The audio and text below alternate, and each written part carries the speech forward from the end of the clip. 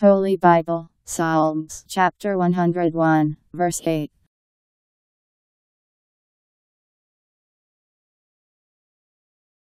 Morning by morning will I put to death all the sinners in the land, so that all evildoers may be cut off from Jerusalem.